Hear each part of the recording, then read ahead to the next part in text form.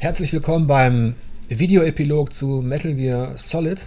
Ähm, wir haben ja gerade den, den Test veröffentlicht äh, zu Metal Gear. Äh, du hast ihn geschrieben. Wir haben beide extensiv gespielt, Metal Gear, und wir wollen heute nochmal darüber sprechen in diesem Epilog, wo es Widersprüche und Probleme in der Dramaturgie gibt. Oder auch darüber, warum uns Metal Gear letztlich beide nicht so begeistern konnte, ähm, wie es sonst der Fall war, wie es früher der Fall war. Wir konzentrieren uns jetzt nicht nochmal auf alle Kontrapunkte im Spieldesign, sondern wirklich ähm, auf ein paar ausgewählte Punkte. Ähm, und da insbesondere, da wollen wir insbesondere über die Regie sprechen von Kojima und die Dramaturgie äh, innerhalb des Spiels. Und, und keine Angst, ja, wir müssen natürlich über ein paar Dinge sprechen, ähm, die, die, die etwas verraten. Wir müssen Namen nennen, aber wir werden auf gar keinen Fall irgendwas über die Auflösung sagen und über das Ende. Ähm, sondern wir gehen eher auf die Aspekte ein, die am Anfang, so im ersten Drittel und im, sag ich mal, im Mittelteil, die bis dahin schon auffallen. Und da möchte ich mal anfangen mit der, mit dem Prolog, mit der Geschichte, mit dem Gesicht. Was war denn da los, Michael? Ja, es ist eine sehr gute Frage, auf die ich eigentlich nur eine Antwort habe. Ich glaube einfach, Kojima wollte irgendwie die, die Charaktererstellung für, für Metal Gear Online einfach cool, witzig ins, ins Hauptspiel packen mit diesem Editor bei der Gesichtsoperation. Ja, ist ja so, man, man, man startet das Spiel, man ja. ist im Intro und dann ähm, wird ja das, das Gesicht operiert von dem, von dem Chirurg und man kann sich dann aussuchen, wie man aussehen will. Äh, man bekommt einen Spiegel vorgehalten und erkennt sein neues Gesicht und kurze Zeit später ist man wieder unterwegs mit dem, sieht ja nicht schlecht aus, mit dem, okay. mit dem bekannten Solid-Gesicht. ja. Und ich habe mich die ganze Zeit gefragt, also zumindest in den, also auch in den, in den ganzen Spielen, wer ist jetzt, wo ist dieses Gesicht hin? Ja, ist weg. Und ähm, überhaupt dieser, dieser ganze Einstieg, man, man, hat einfach keine Ahnung, was da jetzt los ist. Sind das alles Halluzinationen? Aber dann greift er hier sein, sein anderes Ich, ich nenne es jetzt mal einfach so, greift dann doch sehr aktiv auch in den Spielverlauf ein. Er schießt Menschen, rettet eigentlich ist es ja immer wieder dramaturgisch gut, wenn Fragen gestellt werden, wenn man nicht von Anfang an alles ja. beantworten kann und wenn so gewisse Rätsel da sind. Das ist ja auch ähm, Teil der DNA von Metal Gear. Das ist ja somit die widersprüchlichste und verwirrendste Story, die es überhaupt so gibt. Wir könnten da auch Stunden damit füllen, keine Bange. Wir werden jetzt nicht alle, ähm, ähm, alle äh, Widersprüche jetzt irgendwie auflösen und besprechen, aber ähm, das Spiel fängt quasi mit diesem Widerspruch an. Das hat ja. mich auch begleitet. Ich habe mir echt äh, Gedanken gemacht, wo ist denn jetzt dieses neue Gesicht hin? Aber bevor wir weiter darauf eingehen, und ich glaube, es gibt da ja vielleicht auch doch noch eine Antwort, ähm, gibt es ja noch andere dramaturgische Geschichten. Kojima hat ja jetzt zum ersten Mal das Episodenformat etabliert. Ja. Aber. Ja, das kann theoretisch super funktionieren. Ich meine, wir haben es bei, bei Resident Evil Revelations unter anderem gesehen, dass wenn, wenn ein Spiel wirklich auf diese Cliffhanger hin designt wird, dass das super funktionieren kann mit dem Episodenformat. Oder man denke auch hier an, an die Telltale-Geschichten, die, mhm. die legen ihre Geschichten halt so an, dass jede Episode für sich spannend ist, mhm. die Geschichte weiterbringt und im Idealfall mit einem Spannungsmoment aufhört. Ich habe mich auch darauf gefreut, als es, ehrlich gesagt, als es angekündigt worden ist. Ich meine, ich schaue auch TV-Episoden, also True Detective ist cool, Lost habe ich geschaut, alles. Ähm, und ich konnte mir vorstellen, ähm, dass Kojima das auch hinbekommt. Ja. Bin aber jetzt im Nachhinein eher ernüchtert von der Art und Weise, wie Kojima das inszeniert. Ja. Und zwar deshalb, weil viele der Episoden doch recht belanglos wirken. Also wenn, wenn das, was Kojima da inszeniert als, als eine Episode, so in der TV-Serie laufen würde, ähm, hätte ich nach zwei Folgen wahrscheinlich keine Lust mehr. Ja, und das ist natürlich, äh, das ist für für seine erzählerische Klasse, die er unter Beweis gestellt hat, ist es schon ein Armutszeugnis. Mir geht es auch so. Ähm, ich habe auch das Gefühl gehabt, dass die ganze Präsentation der einzelnen Episoden, das ist ja immer Hideo Kojima, der Name taucht ja überall auf. Also er inszeniert sich auch selbst, ja schon im Prolog, das Poster. Ähm, und dann steht ja dabei, wer es geschrieben hat, also written by XYZ, äh, irgendein Japaner, der diese Episode diese Geiselbefreiung, diese Panzerzerstörung, was und, und das ist es eben. Es ist diese Geiselbefreiung, diese Panzerzerstörung. Ich habe nicht das Gefühl, obwohl es erzählerische Höhepunkte gibt. So ist es ja, ja nicht. Ja. Es gibt Dinge, die sind wirklich klasse und dann fühlt man sich wieder zurückversetzt in die große Zeit der Faszination. Ja. Aber es ist viel zu oft wirklich sehr gewöhnlich, was da erzählt wird. Und es ist gar nicht nötig zu sagen written by, weil es für mich so ist, es ist einfach nur ein anderer Level gebaut worden. Ich habe ja in meinem Test, habe ich es ja mit Akte X verglichen. Da gab es ja auch immer die, die Folgen mit dem roten Faden, mit, mit Raucher und Trullala. Und die hatten aber auch super abgeschlossene Fälle in sich selbst als Folgen in der TV-Serie. Und das habe ich bei Metal Gear halt einfach viel zu selten. Dass die einzelnen Episoden, die mich jetzt in dem Großen und Ganzen nicht sonderlich viel weiterbringen, aber dass mhm. die mich dann trotzdem packen und begeistern. Zumindest die Hauptmission. So, du hast das Gefühl, äh, du läufst durch eine Wüste und irgendwann kommt da wieder vielleicht am Ende dieser Mission endlich wieder diese Oase, wo Kojima seine alte Stärke, weil so wirklich wieder alle Geister von damals wieder da sind, wo das alte, der alte Nervenkitzel und aber auch die, die Faszination an, an, an seiner, an seinen, sag ich mal, seiner Charakterzeichnung dann ist ja schon noch mit da, aber halt alles so, so gestreckt ja. extrem.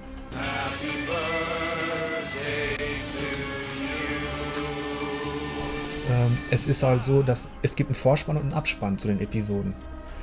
Und im Vorspann muss ich dann teilweise lesen, was kommt. Ja. Also ich werde im Vorspann gespoilert, dass jetzt ähm, zum Beispiel dieser Boss oder diese Skulls-Einheit ja. auftritt. Ja.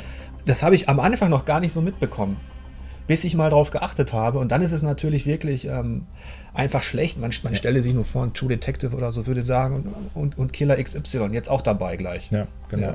Oder es ist zum Beispiel bei, bei 7 da ja. wurde der ähm, Killer zum Beispiel gar nicht, äh, der Schauspieler, Schauspieler wurde nicht aufgeführt. Ja. Ganz einfach, um, um die Überraschung aufrechtzuerhalten. Und so stellt er sich halt dramaturgisch schon ein Bein. Wenn, also ich wäre sehr oft überrascht gewesen, wenn dann plötzlich wieder dieser Nebel gekommen wäre, die, die Skull-Einheit. Dann so werde ich das innerhalb der ersten 10 bis 15 Sekunden, die werden irgendwann auftauchen. Und was das Episodenformat für mich auch runterzieht, was ich vermisse, ist, dass in diesen Episoden andere Charaktere, die, die dann ja auch hinzukommen, außer Ocelot und Solid und so weiter, ähm, zum Beispiel russische Offiziere, Generäle, was weiß ich, dass die überhaupt nicht als Charaktere dargestellt werden. Das sind einfach nur Leute, die ich eliminieren soll oder die ich rausholen soll. Aber es gibt keine kleinen Storyfetzen innerhalb dieser Geschichten, die die für mich als äh, Charaktere greifbar machen. Kennst du einen Namen von den Leuten, die du rausgeholt hast? I Igor. Igor.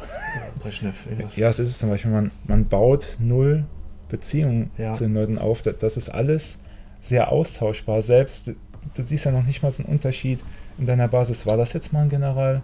War das ja. nur ein einfacher Soldat, den du da rausgeholt ja. hast?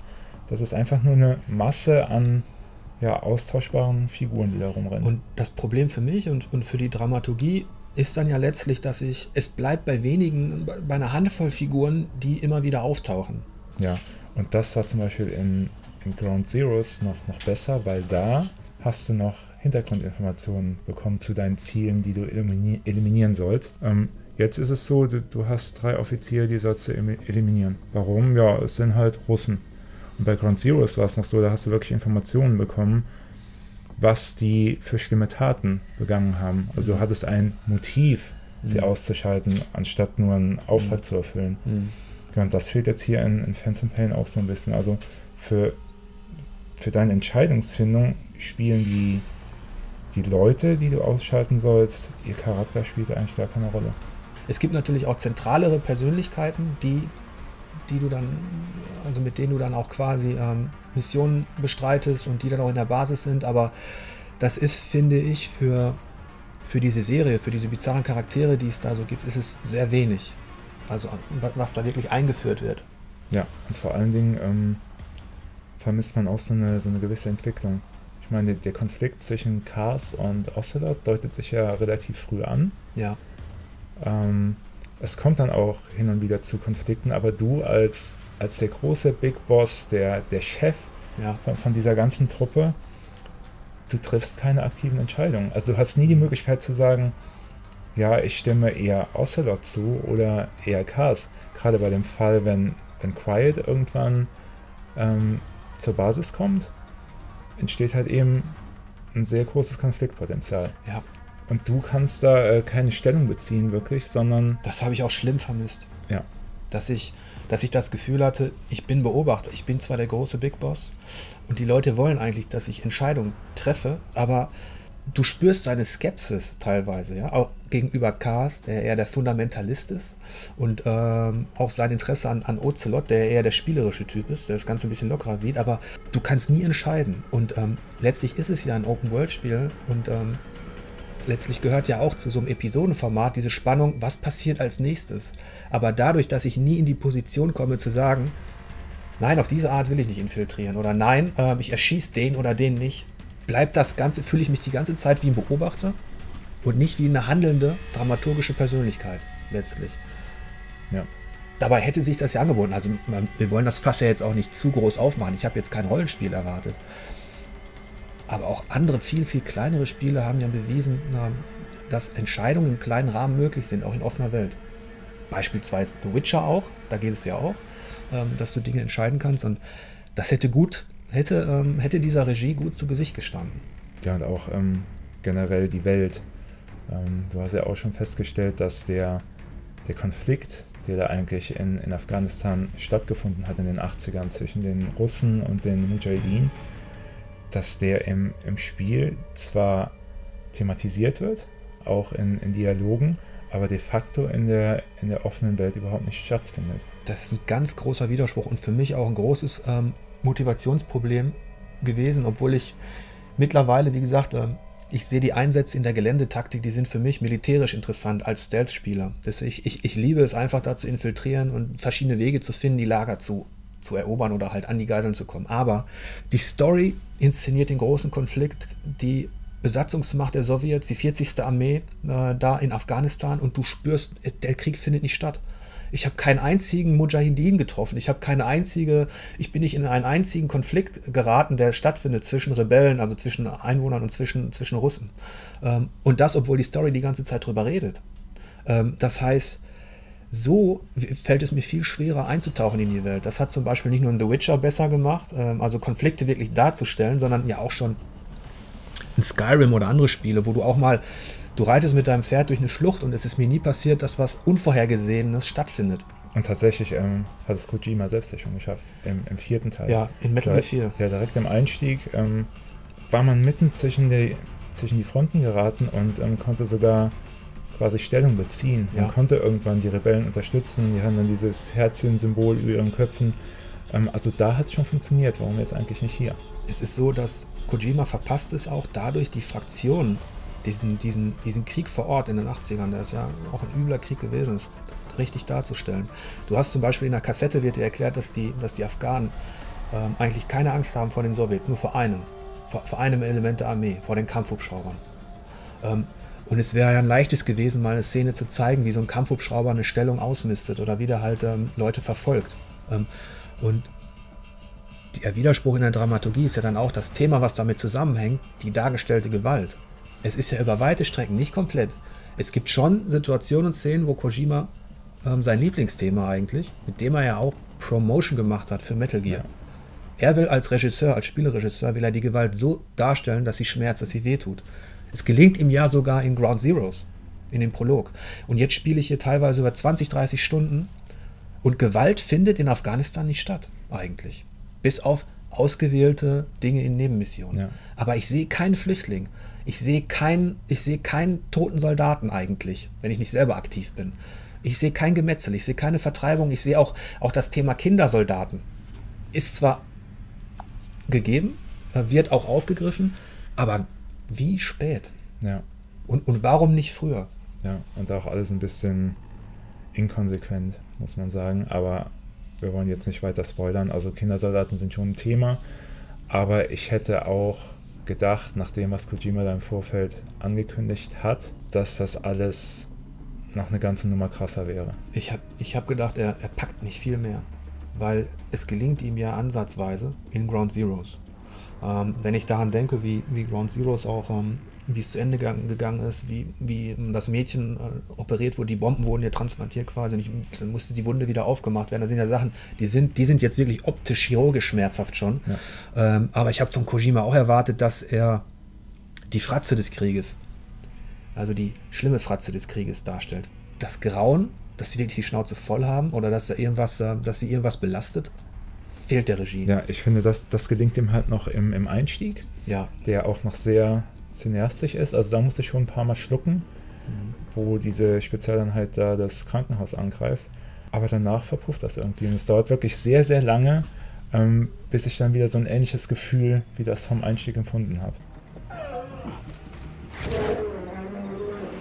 Du, du, hast die Hauptmission, du hast die Nebenmission, aber dann noch wirklich noch die wichtigen Nebenmissionen, die teilweise für mich wichtiger sind als die, als die Hauptmission. Das ist, das ist auch ein Problem innerhalb der Struktur. Denn es gab äh, zum Beispiel eine Nebenmission, die, die so relevant war, ganz am Anfang. Es ist die Nebenmission, wo ich ähm, ehemalige ähm, Soldaten der Mother Base, der alten Mother Base, die wird ja im Ground Zeroes zerstört von Cypher und dann gibt es Überlebende. Und dann gibt es eine Mission, da soll ich jemanden finden. Die war eigentlich klasse, weil das war die erste Mission, wo was wirklich Unvorhergesehenes passiert. Ähm, da findet man keine Geisel, die irgendwo im Gefängnis ähm, da bewacht wird oder was, sondern mitten in der afghanischen Pampa hinter dem Felsen lauert eine schwarze Gestalt und rennt weg. Und dann jage ich die Gestalt und dann ist es nicht so einfach. Sie, sie hat scheinbar größere Kräfte, denn sie kann mich einfach so wegstoßen. Auch meine Betäubungstreffer ähm, wirken nicht sofort. Und dann habe ich sie mit dem Pferd umgeritten und irgendwann nach sechs, sieben Treffern ist diese schwarze Gestalt, diese komische, vermummte, irre schwarze Gestalt, die auch einfach mal in so ein Feindlager rennt. Die habe ich dann endlich bewusstlos gekriegt und ab ins Lager gebracht. Und jetzt passiert folgendes: gar nichts. Nichts. Es, es ist eine Nebenmission, die, die mich richtig neugierig macht. Und jetzt komme ich in meine Basis. Ich kann weder diese, diese, diese Person finden auf der Basis und interviewen, ausfragen, ausquetschen, noch reagiert äh, quasi die Kommandozentrale um, um Chaos und Co. und sagt, wir untersuchen die jetzt für dich. Da dachte ich mir auch, das ist so im luftleeren Raum. So eine, und das darf man sich natürlich, finde ich, nie erlauben eigentlich. Das ist genau wie, wie die Sache, dass Ocelot irgendwann meint, man findet ja irgendwann mit, mit Glück und gutem Gehör den, den Welpen. Und ähm, Ocelot meint ja dann, dass man als Snake doch mal bitte öfter in der Basis vorbeischauen soll, um mal nach dem Hund zu sehen. Er soll ja auch erzogen werden, er soll dann mhm. irgendwann Kampfhund werden. Ja, und die, die Sache ist dann die, man rennt auf der Basis rum, wirklich jede Treppe hoch, aber man kann sie einfach nicht finden. Als ich, ähm, ich finde das ja auch klasse, dass der Hund integriert ist. Ähm, und als das, äh, als ich ihn zum ersten Mal gesehen habe und diese, diese, diese Anmerkung kam von Ocelot, habe ich auch gedacht, jetzt kommt ein Nintendogs, ein kleines. Das habe ich jetzt nicht, das brauche ich nicht, ja. aber ich hätte zumindest erwartet, ich kann ich kann tatsächlich weiß nicht, mein, mein, Magazin schmeißen und der Hund reagiert oder so. Oder ich kann ihn, äh, ich kann halt eine Bindung aufbauen, weil äh, du baust ja auch ein Vertrauensverhältnis zu dem Pferd auf, äh, indem du es halt häufig benutzt. Das ist zwar jetzt auch eher statistisch als wirklich emotional oder dass du was machen musst. Ist auch vollkommen in Ordnung für Metal Gear. Aber bei diesem Hund fand ich es auch schade.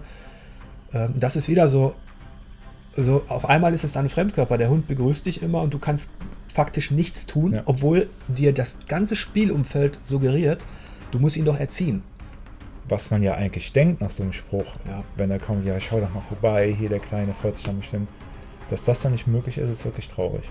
Weil so wird die Basis auch degradiert ähm, zu, so, zu so einer reinen ähm, Aufbaustatistikgeschichte, die recht, st recht steril auch wirkt. Dabei wäre es ein leichtes gewesen, auch emotionale Bindung aufzubauen. Da hätte ich Kojima auch ein bisschen mehr, da hätte ich mehr erwartet. Es ist ja nicht so, dass man gar nichts auf der Basis entdecken kann wer die Augen aufmacht und wer ein bisschen schaut, der findet schon auch coole Sachen. Ja.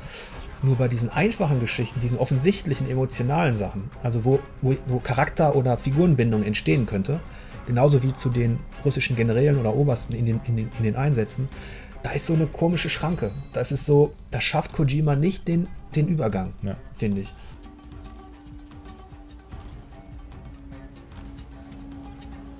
Ähm, was mir noch aufgefallen ist, so als ein Widerspruch, den man auch in die Dramaturgie-Ecke packen kann. Das wäre diese Geschichte mit den, äh, mit den Rettungen über das Fulton-System. Das ist ja ein, tatsächlich ein authentisches System. Die CIA ja. nutzt es. Zwar nicht so wie, wie in Metal Gear, ähm, da kann man natürlich auch fünf gerade sein lassen. Ja. Ähm, ich glaube, Schafe holen die da nicht raus. Aber ähm, es ist ja schon bizarr. Also man, man, man infiltriert ein, ein, Lager der russischen Armee. Erstmal hören die, die, die russischen Soldaten hören ähm, Kim Wilde, Kids in America und Co. Ja.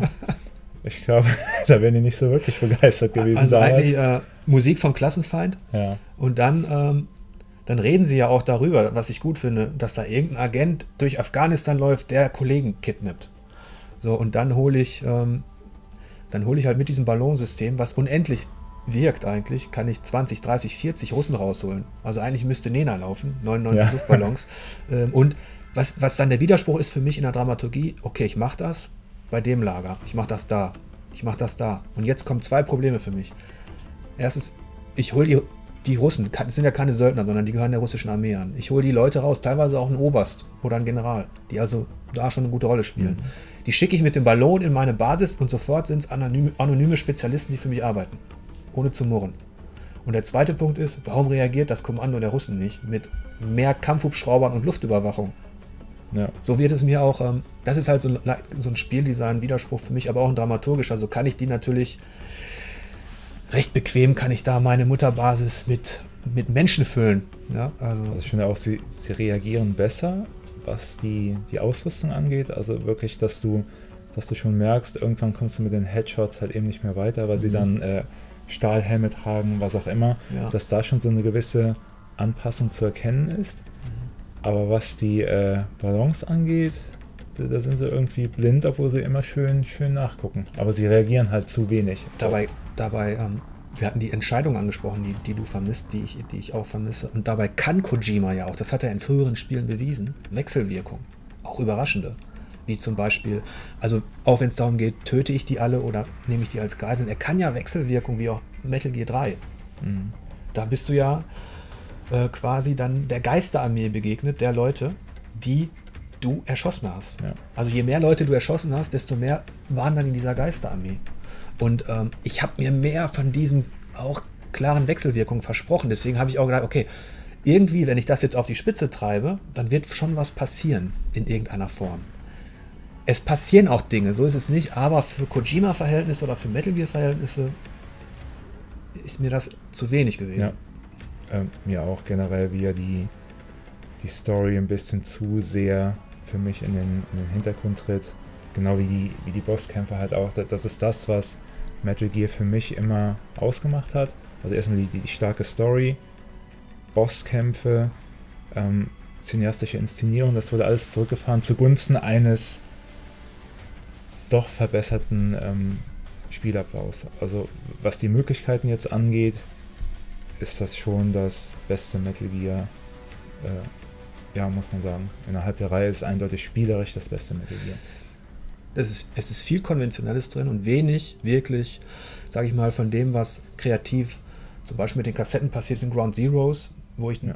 wo ich zum Beispiel einen Aufenthaltsort finden musste nach der Kassette, also nach den Geräuschkulissen, die in der Kassette wie so eine wie so Brotkrumen ausgelegt worden sind, ja. dass ich die finde. Sowas habe ich hier vermisst. Ich dachte, da kommt viel mehr, sowas. Ja. So sind die Kassetten, das ist auch wieder äh, für mich auch dramaturgisch ein Problem, dass die Kassetten, die ich mir alle anhöre, dass die komplett getrennt sind eigentlich von dem eigentlichen Story-Erlebnis. Also dass es keine Wechselwirkung auch hier wieder gibt zwischen, du hörst was in der Kassette und das ist für dich der Input oder das ist für dich der, sag ich mal, der Dosenöffner für eine, für eine Nebenmission. Ja. Das wäre cool. Oder generell, dass die halt eben ins Spiel eingebunden werden. Ja. Nein, sind sie nicht. Sie, du findest Kassetten mit Musik drauf. Ja. Nachher kommst du zurück und äh, bekommst neue Kassetten zum Anhören in deinem Hubschrauber oder auch während Missionen, was ich ja einmal versucht habe, aber dann ganz schnell wieder sein gelassen habe, weil einfach zu viel passiert. Du, du kannst nicht gleichzeitig eine Kassette hören, den Codec-Gesprächen lauschen und dann meldet sich noch der iDroid wieder, dass ja, irgendwas das passiert ist also für mich war das so ein, so ein Overflow, der mich fast dazu gezwungen hat, mir die Kassetten wirklich nur separat. Das habe ich nachher auch so gemacht, weil es zieht dich natürlich auch aus der Situation raus. Das ist eigentlich auch ein Regiefehler, dass überhaupt auf drei Kanälen Informationen gleichzeitig dann ablaufen, die du gar nicht verarbeiten kannst und die, die dann eher dafür sorgen, dass du nichts behältst davon. Ja. Ich habe manchmal auf so einer Metaebene das Gefühl gehabt beim Spielen, das, was Kojima, weil du meintest, es ist Spieldesign technisch das Beste, Metal Gear und so weiter, das ist aber der große Kompromiss, den er hier eingehen muss. Das alles, all das, was ich dramaturgisch vermisse, das kriege ich dann zurück in Form von Sammeln. Ja. Also es ist auch so, dass, dass hier auch nicht alles schlecht gemacht ist, was man sammeln kann, dass es sogar teilweise gut eingebunden ist. Ja, ich finde es halt im Vergleich zu vielen anderen Open-World-Spielen, Beispiel Assassin's Creed, Federn sammeln und so weiter, finde ich es hier schon noch sinnvoll. Die, also ich nehme immer gerne Ressourcen mal mit, wenn ich sie irgendwo blinken sehe oder oder auch, ähm, was gibt es denn noch, oder auch die, die Heilpflanzen, weil ich schon weiß, dass es mir was bringt. Ja, aber für mich ist auch der Widerspruch, ich mache es ja auch. Ja. Aber wenn man wirklich mal die, den Finger in die Wunde legt, ich bin Big Boss. Ich lag neun fucking Jahre im Koma. Ich wurde wieder fit gemacht. Ich bin für die richtig, richtig wichtigen Sachen zuständig, denn meine Fähigkeiten sind ja laut Statistik überall A in allem. Ja, und jetzt haben wir es zu Blümchen. Ja. Warum kann ich da nicht irgendeinen, den ich per Ballon rausgeholt habe, und es sind nicht wenige, sondern Hunderte, die ich raushole, warum kann ich die nicht viel früher ähm, warum kann ich das nicht auslagern viel früher? Ja. Oder auch diese Materialbeschaffung und solche Geschichten. Klar, man kann gewisse Dinge dann ja indirekt machen, über die ja. Unterstützer und so. So ist es nicht. Aber am Anfang fühlte ich mich schon auch trotz Big Boss wie Big Laufbursche. Ja, ja, das stimmt. Und was natürlich auch, ähm, was mich persönlich sehr, sehr gestört hat, gegen Ende des ersten Kapitels kommen halt Situationen, wo er eigentlich den Cliffhanger nutzt, wie man es eigentlich von, äh, von den TV-Serien kennt, aber es auf eine Weise nutzt, die mir völlig zuwider ist. Also es kommt halt dieses Fortsetzung folgt mhm. äh, in sehr aufregenden, spannenden Szenen, wie wir es auch von, von TV-Serien kennen. Aber dann passiert folgendes: Man wird in, in die Luftzentrale zurückversetzt. Ja, das ist. Und, und kann dann wieder, wenn man will, stundenlang auf der Basis rummarschieren das ist. Und dann irgendwann sagen, ja, okay, jetzt, jetzt möchte ich doch wieder zurück.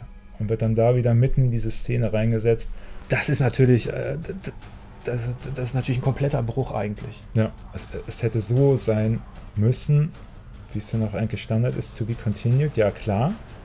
Und dann wird die Handlung einfach an einen anderen Schauplatz versetzt. Warum spiele ich nicht zum Beispiel dann in dieser Situation mal kurz Ocelot oder sonst wen? Aber es kann nicht sein, dass die Handlung so krass unterbrochen wird, mhm. ähm, ganz woanders weiterspielt, was überhaupt gar keinen Sinn ergibt in dieser mhm. Situation. Und dann geht es plötzlich weiter. Und das war für mich wirklich ein richtiger Downer. Also mhm. sowas hätte ich von einem Metal Gear und von einem Regisseur Kojima nie erwartet. Ja, es, es, es gibt wirklich Dinge, da, da bröckelt auch sein, sein, sein Nimbus. Ich meine, es ist ja so, man, man, man darf es jetzt auch nicht zu oder andersrum innerhalb der Metal Gear-Geschichte gab es ja schon immer Widersprüche und Dinge, wo man den Kopf geschüttelt hat oder so. Und sich gedacht hat, äh, da möchte ich jetzt bitte keine Nacherzählung machen, denn Kojima weiß selber nicht genau, ja. Äh, wie da jetzt die Chronologie ist und welcher Atom macht und, und, wer jetzt genau wo was macht. Und hier ist das so, ich habe mir schon ein bisschen mehr Reife auch gewünscht, äh, auch innerhalb des Storytellings von Kojima, dass er da mehr, dass er da klarer und spannender und, und auch ähm, emotionaler erzählt noch. Ähm, und es wirkt teilweise wie so ein Baukastenprinzip. Ich glaube, was äh, Phantom Pain ganz gut getan hätte, wäre, wäre vielleicht einfach mal zwischendurch ein Wechsel. Mhm. Dass du nicht immer diese, diese absolute Infiltrationsfreiheit genießt, sondern tatsächlich zwischendurch einfach nochmal so, solche Sequenzen eingeworfen werden wie, wie beim Einstieg. Mhm. Ähm, ja. Dass du halt eben nochmal ein bisschen begrenztere Areale hast, ein, ein festeres Drehbuch auch. Mhm. Ich glaube, es hätte echt es hätte nicht geschadet, um auch für, für einen Hauch mehr Abwechslung zu sorgen. Wo ist der CIA eigentlich?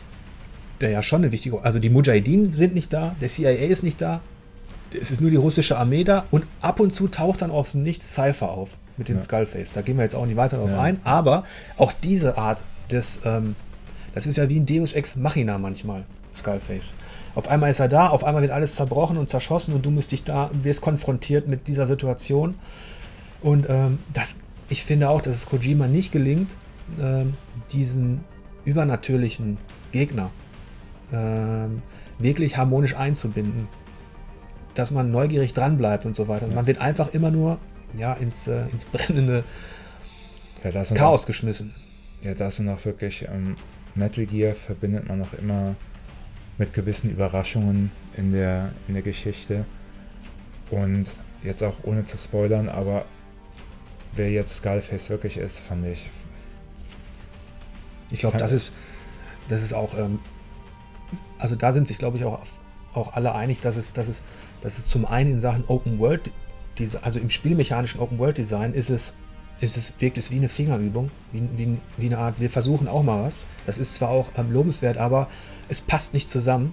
Ähm, in der Dramaturgie hast du die Widersprüche und in der Geschichte, also das, was du jetzt also in den Auflösungen, über die wir ja jetzt nicht sprechen, aber ähm, ist es dann letztlich auch unbefriedigend, wenn man an die Punkte denn letztlich gelangt, innerhalb dieser Episodengeschichten, wo man dann endlich mal was zu fassen bekommt.